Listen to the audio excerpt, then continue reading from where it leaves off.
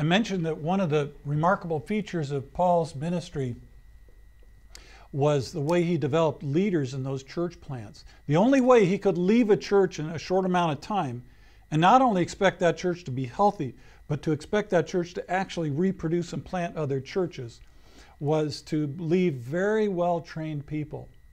But he didn't only do that. He recruited future ministries, uh, missionaries out of those churches that he planted.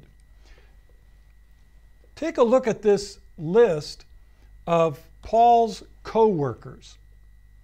And what I've done is along this column, I've listed the different churches that these co workers come from. For example, Timothy came from Lystra, Gaius came from Derbe, Aristarchus and Secundus came from Thessalonica, and so on. And what is remarkable is the number of churches that produced co workers of Paul. Now, these were mostly co workers who traveled with Paul. These were future or missionaries that he recruited. I call this recruiting workers from the harvest for the harvest.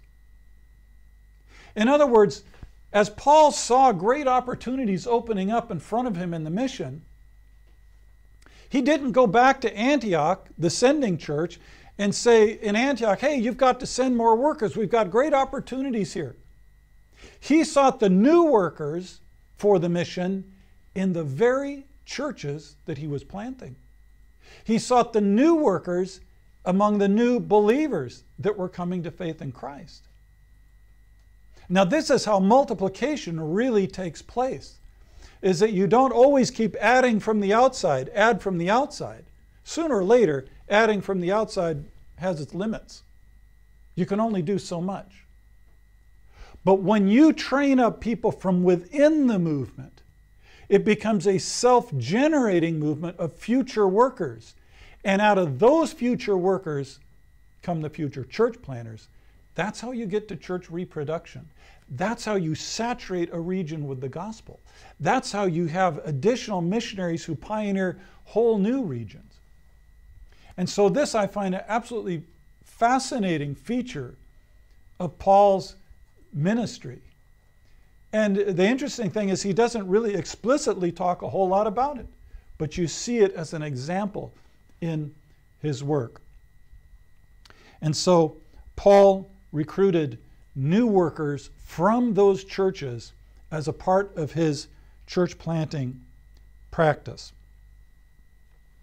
Now, I mentioned that the question often arises uh, do, should we plant churches the same way that Paul did? Should we, is that the biblical way to plant churches because Paul did it that way? Or has the world changed so much that, you know, that, that was for Paul's day and it worked for him, but, you know, we live in a different world. We have modern technology and we have mega cities and, and uh, you know, we live in a different place, so we, we don't have to do everything the way Paul did. And so this is a debate uh, among uh, Bible scholars, among mission experts. Perhaps the most famous person to say we need to return to the methods of the Apostle Paul was Roland Allen. And he wrote a classic book, it's been translated into a few languages, called Missionary Methods St. Paul's or ours. Now, he wrote this almost exactly two, uh, 100 years ago in 1912.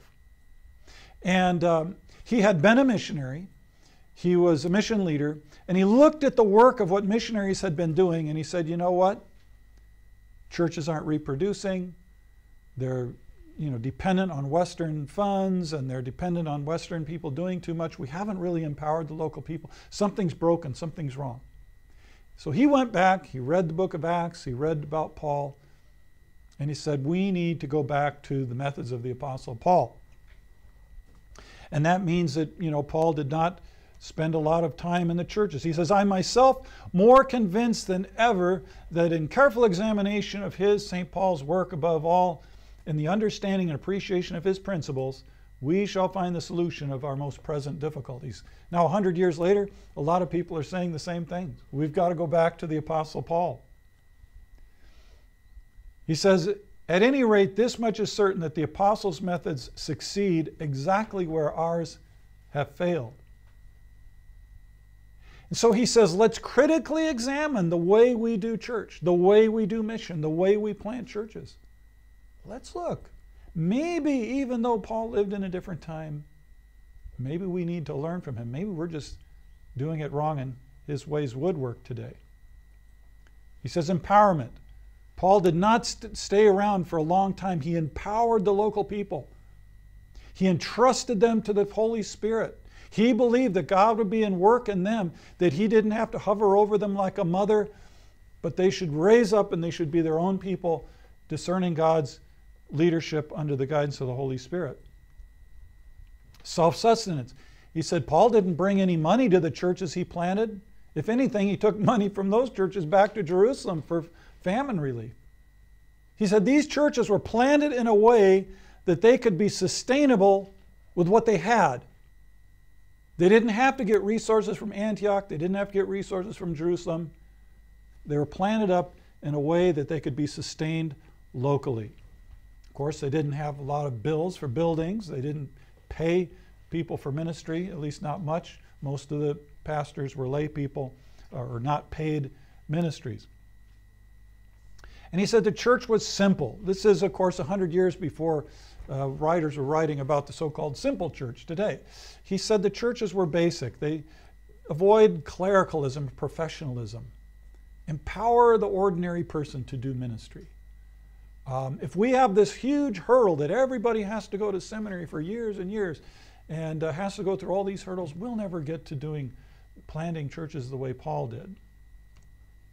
He said, avoid institutionalism. We've got all these layers of bureaucracy.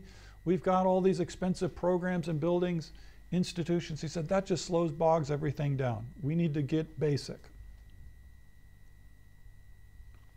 Now, not everybody agrees with him. Um, Eckhard Schnabel is somebody who's written 100 years later. His book came out uh, uh, called Early Christian Mission. Now, that is a two volume work, and um, oh, I think it's somewhere between 1,500 and 2,000 pages. so it is a massive encyclopedia. If you want to do really scholarly study of Paul's mission, really of all the early first century mission, this is the place to go. Um, the original was in German, it's in English. I don't know if that's uh, been translated into other languages. But he has studied Paul and he comes to some different conclusions. Now, if you want the quicker version, he has a second book called Paul the Missionary, and uh, that book's only somewhere around 500 and some pages, so a lot, lot more manageable. uh, and it only looks then at Paul. It summarizes a lot of the other book. But Schnabel, he has slightly different take. But he does say Paul's missionary work did not end with the oral proclamation of the good news of Jesus Christ and the conversion of individuals. Paul established churches, communities of men and women who had come to faith in Jesus, the Messiah and Savior. But he says Paul didn't have a grand strategy, he followed the Spirit's leading. Roland Allen, some others have said, no, Paul had a strategy, only go to the big cities and so on. He said Paul did focus on cities, but he also preached in some smaller towns. And he said Paul didn't have a particular target audience, he just preached to anybody who was willing to listen. And so he has a little bit of a different take than a lot of uh, people, advocates today. Um, but be that as it may, I do believe that uh, it's always challenging to study the Apostle Paul. It's always challenging to compare our work in the church with what was going on in the first century. And uh, the world has changed. Uh, Paul didn't have to learn a foreign language. He knew Greek, he preached in Greek, um, he wrote in Greek, and he was able to communicate with most of the churches fairly well. And by the way, where he got into a situation where he didn't speak the local dialect, namely in Lystra, that was where a lot of misunderstanding happened. So Paul didn't face a lot of the same things that uh, many missionaries face today. But I do think that his method of empowerment the way he empowered local people to do ministry, the way he raised up workers, the way he trusted the Spirit to be at work in their lives. He did not treat them condescendingly, but he came alongside and really uh, empowered and released them to do ministry. I find that very inspiring and I find that a real key. So, whether you're a pioneer missionary or whether you're working in an existing church, this is an absolute key to effective ministry.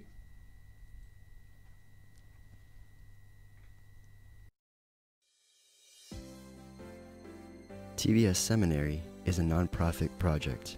Our joint effort will bring about the common purpose of making Christian education available around the world and developing good Christian servant leaders. You have a unique opportunity to partner in this effort through your prayer and or financial support of TVS Ministry. For more information, please visit tvsseminary.com.